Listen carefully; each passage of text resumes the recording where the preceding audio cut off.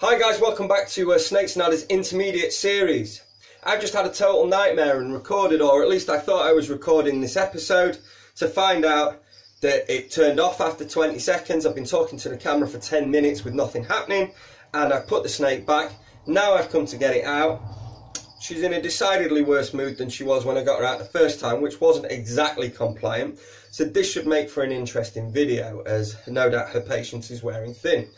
Today's episode in the intermediate series is episode 15, and we're dealing with Vietnamese blue beauty snakes. Latin name Orthriophis taeniurus callicyanous. This is the new boy of the striped-tailed rat snakes. So we've got the more established species like the Chinese beauty snake, which is Orthriophis taeniurus taeniurus, and the Taiwan beauty snake Orthriophis taeniurus friesi, which are usually slightly more compliant and easier to work with, even though the Taiwan is a big boy, is a chunky boy, carries some weight.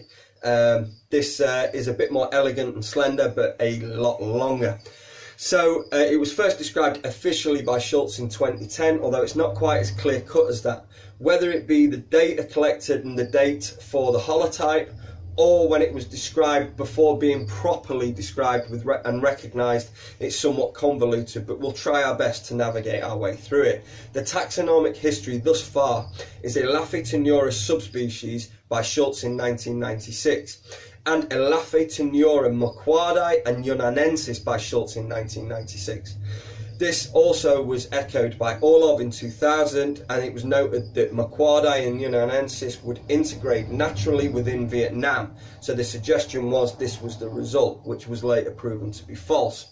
Elaphe taeniura by Ziegler in 2002, Elaphitenura callicyanous, so the first time we see the callicyanous name, which was by Schultz in 2010, Orthriophis taeniurus callicyanous uh, by Schultz in 2010, which is when the rat snake review all sort of took place and we got all the new families, Zamenis and Rhinechis and, and Orthriophis and Coelognathus and Oreocryptophis, when they decided to complicate our lives and make everything not Elaphe anymore.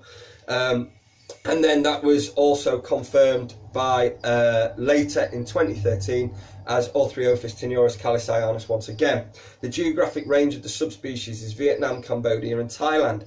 Now the next bit is a gobful but I will try my best and if you are from Vietnam I am trying my best not to offend you. I'm from Yorkshire and pronouncing these uh, area names will be interesting for me.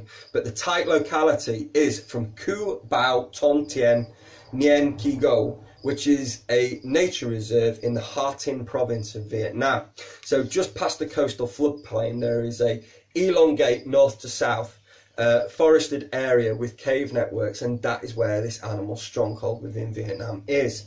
The nearest weather data that I could find was with timeanddate.com, and that was for Da Nang, which is central Vietnam, just slightly more north of uh, Ha Tinh. So, uh, the hot season runs through June to August with daytime highs between 34 and 35 degrees Celsius and nighttime lows of 25 to 26 degrees Celsius. Cool season runs through November to February with daytime highs of 25 to 28 and nighttime lows of 19 to 22. The wet season it peaks in October with 220 mil of rain in the month and the rainy season runs from September through to December. As with the other Taeniura subspecies, they are associated with cave networks. This will help to be able to achieve, uh, able to escape excessive heat in summer and excessive cold in winter. Caves make fabulous insulators. Also, they're going to get some protection from the canopy of the forest where they live, so that the direct heat of the day at 34 degrees they're not necessarily going to experience, and they're going to be able to find microhabitat. excuse me, microhabitats where they're cooler and they can maintain their temperature uh, more uh, more easily. So the accepted uh, thermal range in captivity is between 30 and 32 degrees at the hotspot, and then we would allow them to move away. Uh, we would never get up to the 35 uh, degrees. That's excessive for this species. We'd, they'd rarely be out during the peak of those sorts of temperatures, and they would uh, take shelter away from that. More than likely, if we kept them that warm, they'd end up regurgitating or have some seriously bad sheds and dehydration. They've got a very, very fast metabolism and huge appetites, but they do seem to shun excessively large meals and will opt for multiple prey items of a smaller size rather than huge meals. Um, and you know this is this is a uh, an issue that we've had in the past where they'll attempt a large rat and they just they'll get maybe the head in and, and, and just bail on it. Whereas if we offer them a couple of small rats or even a couple of medium rats for such as this huge girl, there's no problem. But the big meals do seem to cause a bit of an issue, and that is a trait I've noticed that runs through some of the striped-tailed rat snakes. Um, as far as uh, adult size goes, up for contention, this is a good sized girl. She's a proven breeder and she is, I don't know, approximately eight feet long. Um, she is uh, relatively slender. I mean, still a stocky snake over the eight feet, but overall, as build goes, athletic, racer-like, uh, and agile would be words that I'd use to describe the build.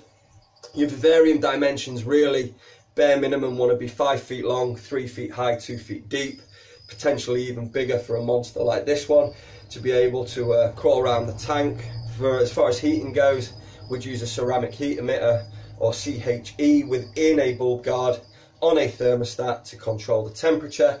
The basking area of 30 to 32 would be on the boughs and branches and foliage directly beneath that heater with the opportunity for the animal to retire both down and across to escape from the heat.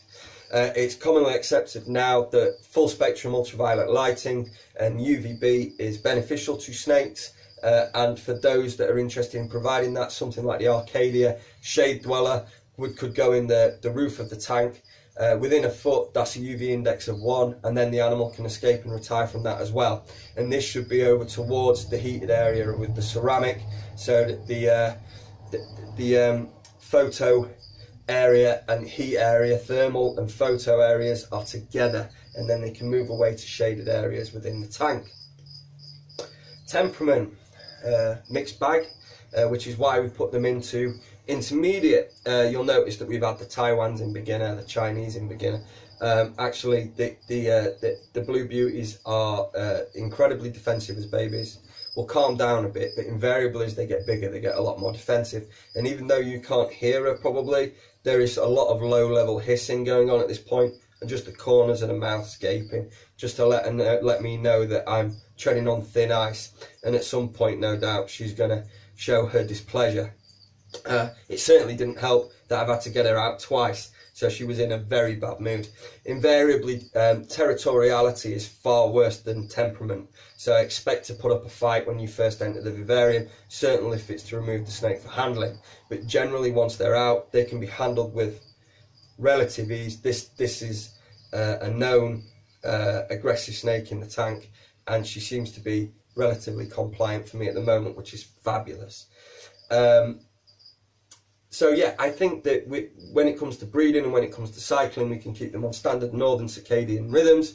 We can rely on our winters, whether that be US or UK. We can rely on barometric pressure changes and raising the humidity to be able to mimic the wet seasons, cools and hot seasons. And we should be able to get copulation. There shouldn't really be a need for any sort of protracted brumation period. These animals are relatively uh, uh, stable temperature wise with nighttime lows midwinter at 19 daytime highs midsummer at 30, 34 35 so if we're keeping them at 30 32 in winter we might take them down to 27 28 we'll bang the humidity up and once they're up to size copulation will follow. Uh, eggs are incubated as a standard colubrid egg at 28 to 29 degrees celsius 55 to 65 days um, they are large eggs um, and they, they produce good sized babies. But they will, again, they will take small meals because they're elongate, they're not stocking. So this, it, this is a lot of snake, but it's hard to describe because there's so much body length as well. But she's an absolute, to be honest, you're really giving a good show of yourself, you know? You're doing really well, aren't you? Yeah, you're gorgeous, I can hear you. I'm not going to hear you. Do your research as always. The beauty snakes are an excellent next step snake, and for somebody who's potentially wanting to challenge themselves in, say, the temperament or territoriality departments, that's great. They're not a particularly delicate species. They are quite hardy. They're not going to fall ill easily. They've got excellent appetites. So the challenge isn't really day to day husbandry, more day to day working with, manipulation, handling, cleaning, and the rest. She's very keen on people's faces, and I think that's a trait that follows a lot of the beauty snakes. So always try and keep her pointed away. Uh, never try and back her up so that she's uh, looking at you. She, they seem keen on noses and eyes, so uh, we'll make sure that that part stays pointing away. I hope this has been a useful video. A truly fantastic species, well worthy of research for your next step snake, a superb species. And now with the boa and python markets just beginning to ease up, the colubrids are now becoming a lot more popular uh, and things that were bred widely a long time ago are being snapped up a lot. So a real opportunity and just such a fabulous snake. And they offer so many different problems to the ground dwelling or burrowing pythons, you know, with the sizes of enclosures and the branches and the foliage. It's just a real opportunity to do something slightly different, be slightly left field. We'll be back with more videos soon from me, Chaz, and Paul at Snakes and Adders. Peace.